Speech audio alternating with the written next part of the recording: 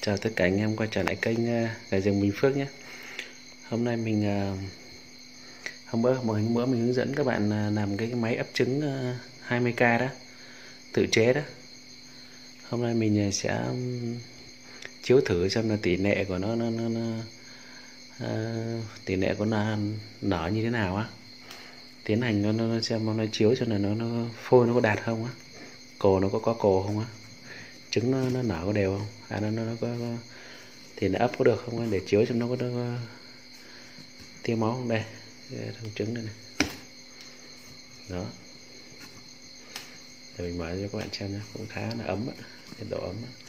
nói chung là máy mình tự chế này thì nhiệt độ mình chỉ căn được thôi. Mình không có có, có, có, có ý là tự chế mà cho nên không cần à, quạt hay là không cần à, đo nhiệt độ đâu. Mình ước chừng thôi thì có 20 nghìn thì nó chỉ vậy thôi. Nói chung là nó chỉ xài cho trường hợp của nó bất đắc dĩ nhà bạn nào xa quá hoặc là có ít gà thì mình ấp đỡ vậy thôi. Cái bóng 60W nó hết ít điện lắm, nó không như bóng 150W đâu. Bóng này cũng hết ít thôi. Đây này, mình mở rộng cho các bạn xem nhé. Đó. Bóng điện này. Đây, nước để bên cạnh luôn. Khi nào mà gà nó gần nở, các bạn ghi ngày vào nhé. Khi nào gà nó gần nở thì các bạn che cái cái cái, cái cốc nước này vào. Lấy cái tấm ờ, gì đó che vào để cho nó nó, nó gà nó không nhảy vào đây nhé bóng điện các bạn để lên cao hơn một chút. Đấy để cho nó có cái rổ hay gì che bớt nên lại để cho nó gà nó không rút vào nhiều. Đó và nhớ các bạn nhớ nếu mà ấp bằng cái này thì các bạn ngày một ngày các bạn đảo ba lần nhé hình thức ờ, cách đảo là gì? Đây ví dụ quả này đúng không? Quả này nằm ngoài cùng. Thì các bạn phải đổ cho cái quả gần nhất này đó, đổi sang bên này. Đó. Đó, đổi cho cái quả gần nhất này. Không thì quả gần nhất là sẽ nóng và mình sẽ đảo như này. Nói chung là cứ khoảng 3 4 tiếng à, khoảng 5 tiếng đảo một lần. Hai tiếng đảo một lần thì càng tốt. Đó. Đừng để sát cái bóng quá nhé. Đó, như thế. Rồi quả này. Này, người ta lại ta lại để đổ đổi cho quả này đó, đó hình thức là cái đảo như vậy. Quả nào gần nhất thì đối với quả xa nhất. Rồi nhớ chưa? Đó hình thức là đảo là như vậy đó. Rồi bây giờ mình chiếu thử xem là nó nó nó nó có có cồ có phôi không nhá. Đây là mình ấp từ hôm 28 tháng 5 hôm nay là ngày mùng 6 rồi. Hôm nay là đúng vào lúc U23 Việt Nam đang đá này. À, ngày mùng 7 chứ nhỉ? À, vừa nãy đang xem đá bóng này. Ra chiếu trứng luôn. Đây bây giờ mình sẽ à, lấy trứng để mình à, soi cho bạn xem á. Đây là mình ghi ngày vào đây này. Đó ngày 28 tháng 5 này. Đó. đây ngày 28 tháng 5 này rồi bây giờ mình chiếu cho bạn xem ha. Mình nhặt trứng ra cái cái cái rổ ở cái xoong này. Đó, mình nhặt ở đây này. 20 quả này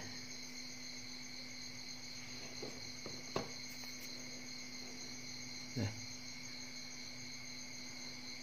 Rồi, đây, hình thức chiếu trứng thì mình đã chỉ video trước rồi nhé. Bây giờ mình chỉ lại cho các bạn xem này. Cái này là được 10 ngày rồi. Hơn 10 ngày cho nên quả trứng nó sẽ thế này. Bạn che tay kín lại nhé. Đừng để cái tia ánh sáng ra đó. Thấy không? Nó khuyết đây này. Đó, quả này có trống này. Rồi mình để riêng ra. Đó. quả thứ nhất, quả thứ hai này. Thấy không? Đó, nó cũng khuyết đây này này. Đó, thấy không? Đó, nó khuyết rồi này đó là quả này cũng có nhé đó, nó có cồ có phôi là nó như vậy á. Chiếu dễ lắm. Đó con này này con này trong suốt này đó, các bạn thấy không? Con này hư này nó con đường này này con này này hư này không có không có cồ, không có phôi này đó, nó bị một cái cái đường vệt này này thấy không?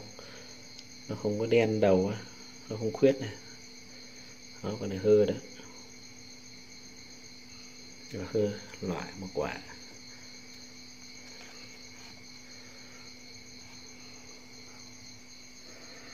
Rồi, tiếp đến quả thứ tư này.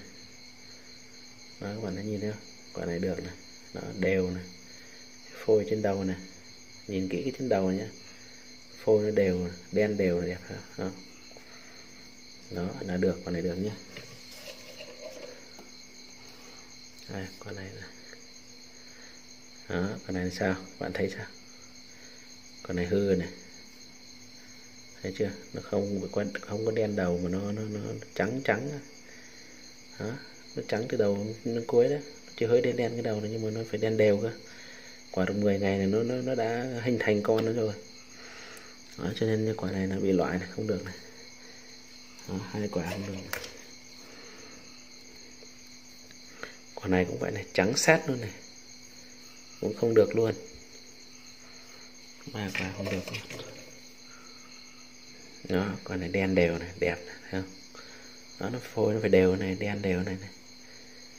Đó, chiếu nhanh nhé nhé đó quả này được luôn này.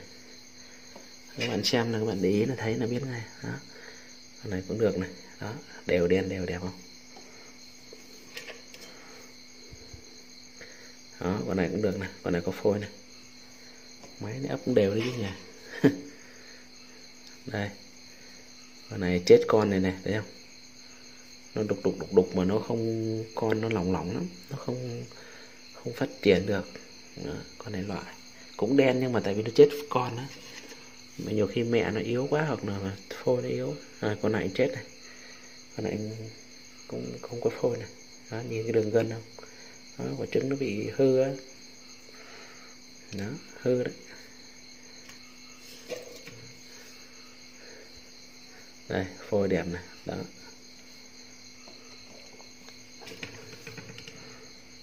Con này cũng hư luôn này. Đó đây, lỏng rồi đây con này đẹp này.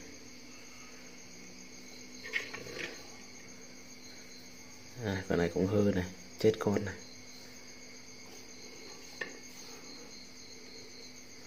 Con này con này đẹp này đó, sắp nở con nó to này. Chắc là mẹ nó ấp được mấy hôm này mình lấy vào đây con này đẹp này. Soi dễ lắm các bạn lấy cái bóng đèn thật sáng soi là biết à. Đó, con này cũng đẹp này. Tia máu em nữa con này cũng đẹp này. Đó.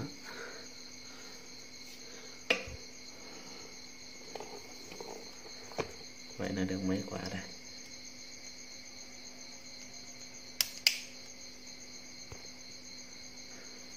Đây, được. Một, hai, ba, bốn, năm. Năm quả này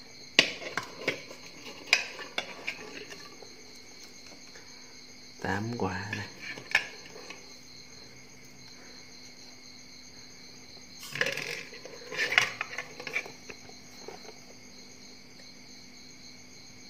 Mười được mười hai quả. Đó, được 12 quả này. còn hư mất uh, 2 4 6 8 hư mất 8 quả tại vì 8 quả đó không có phôi đó, chứng tỏ cái máy này ấp được cái chứ nhỉ? Hôm nào mình ờ, nở con thì mình sẽ, cho các bạn xem ha rồi bây giờ còn 12 quả này không biết là đến hôm nở còn nở được đều không đây? Rồi mình lại đặt vào đây. 12 quả thì đặt gần gần lại chút. Đó. Mình cũng lại xếp vào như như vừa nãy.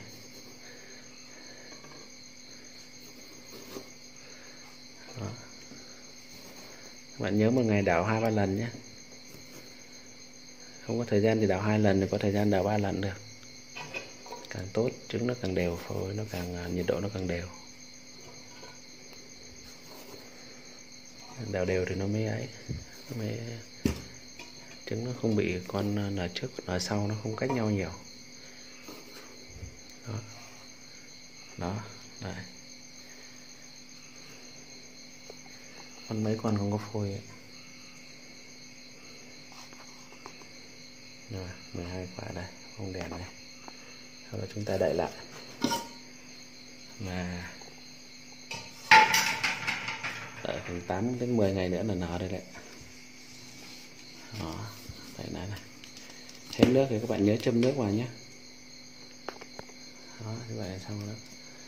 Bạn làm không cái thùng kín này thì đọc đục một hai mấy nỗ ra để cho nó có thoát ra, nó tránh hợp nóng quá bóng là 60W nhé. Đó. Mình ngó để mình xem này nó nở, nó kêu. Nhớ nó nở thì các bạn đậy cái nước này lại nhé. Để để nó không, gà nó không rơi vào nước, nó chết. Rồi, cảm ơn các bạn đã theo dõi video nhé. Nhớ đăng ký kênh để xem được nhiều video hơn và xem được video sớm nhất nhé. Xin chào, chúc các bạn mạnh khỏe và gặp nhiều may mắn. Rồi, giờ xem đá bóng tiếp này